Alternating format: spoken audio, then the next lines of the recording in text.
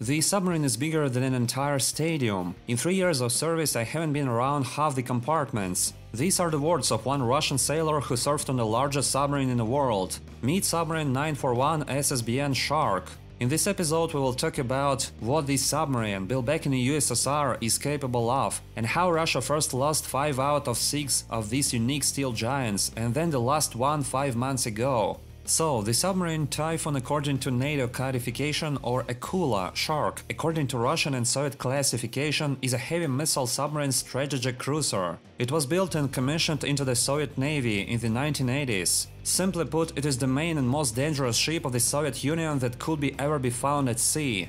The Typhoon project in the Soviet Union began in the 1970s. It all started when KGB agents and Soviet military intelligence got hold of secret United States data, from which the Russians learned that the Americans had begun work on the newest third-generation submarine, the SSBN 726 Ohio. The main thing that struck the Soviet military was that the United States submarine was to be equipped with nuclear charges. These forced them to act very quickly. The USSR's military engineers were given the priority task to build a heavy submarine missile cruiser that could be a powerful response to the United States in the Cold War. As a result, 10 years later, the Soviet Navy got its first Project 941 Shark submarine. It is a real steel giant, even nowadays it remains the largest submarine in the world. The Typhoon submarine is about 175 meters or 574 feet long and 23 meters or 75 feet wide. In Russia, they usually say about the Shark sub that it's bigger than two Khrushchevkas.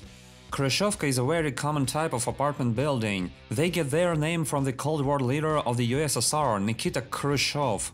Usually, submarines are measured by the volume of underwater displacement. To explain quite simply, imagine a swimming pool full to the brim with a large stone submerging it. The amount of water that spills out of the pool is roughly the displacement volume. So, by comparison, if you submerge an Ohio-class United States submarine in a pool, 18,000 tons of water would splash out.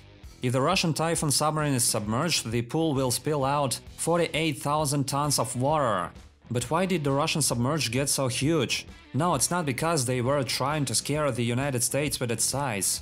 The reason why the Typhoon submarine turned out to be so huge is the new three-stage intercontinental ballistic missile type R-39 Sturgeon, also known in the Soviet classification as R-39 Variant. The missile was twice as long and three times as heavy as its American competitor, the Trident 1 missile, which was intended for the Ohio-class submarine. The earlier Soviet missile launchers for the submarines were simply not suitable, because the new R-39 Sturgeon missiles proved to be too large. Because of this, they had to build a new, larger rig, which affected the overall size of the submarine. The first Typhoon Class 941 model was produced in 1981 and was named TK-208 Dmitry Donskoy, after one of the famous Russian raiders of the 14th century. The bow of the submarine was painted with a drawing of a shark, and chevrons depicting a shark appeared on the uniforms of sailors. The Soviet R-39 Sturgeon missiles were superior to the Trident 1. The weight of explosive the R-39 missile could carry was about 2.5 tons, the Trident missile could only carry 1.5 tons. The R-39 had a maximum range of about 8,250 kilometers or 5,000 miles. The Trident 1 missile had a range of about 7,000 kilometers or 4,600 miles. Each Trident missile contained 8 warheads weighing 100 kilotons. The Russian R-39 Sturgeon had 10 units of 200 kilotons each. At the same time, the number of portable ballistic missiles on the United States and Soviet submarines was the same, 20 missiles each.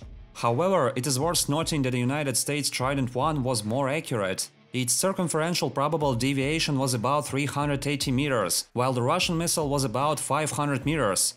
What's more interesting, the Ohio and Typhoon class submarines are literally designed for different temperatures. The Ohio is great in warm waters, whereas the Typhoon carried the vast majority of its duty in the cold waters of the Arctic.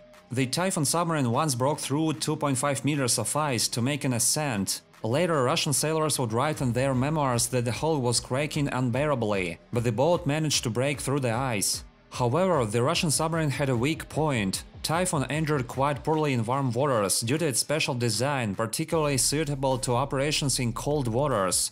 The Typhoon requires 160 sailors, about 30% of whom are officers, to operate it. It can dive to a depth of 450 meters and navigate autonomously for up to 6 months. Initially, the USSR planned to build 11 such submarines. However, later their number in the project was reduced to 10 units. But due to growing problems in the Soviet economy, the Russians could not build all 10 units. They managed to build only 6 submarines between 1981 and 1989. In fact, maintaining such a submarine giant was quite expensive. The cost of maintaining one Typhoon-class submarine was about $8 million a year.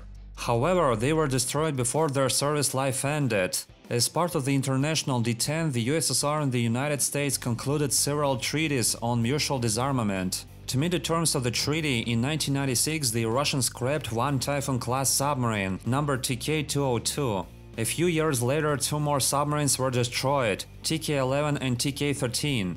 The R-39 Sturgeon missiles were also no longer produced due to the Nuclear Arms Reduction Treaty, and the Russians never created a replacement for these missiles for the Typhoon. So about 10 years ago, they disarmed and removed the 4th and 5th submarines from service. Initially, they planned to switch the Typhoon subs to lighter caliber missiles, also known as SS-N-27 Sizzler missiles, similar to the way the United States switched Ohio-class submarines from Trident 1 missiles to Tomahawk missiles. However, Russia considered these too expensive, thus they had only one, the 6th Typhoon submarine left, to be more precise, she was the first. This is the very first Typhoon submarine TK-208 Dmitry Donskoy. She was the only submarine that survived all those years and remained in the service of the Navy, had it not been for the events of recent months. On February 6, 2023, they quietly announced that the first and last of the Steel Shark, the Typhoon-class submarine TK-208, was being withdrawn from the Navy and sent for scrapping. That's how, without firing a single time, the largest submarine ended its journey. Thank you all for watching, don't forget to like and subscribe the channel, see you next week!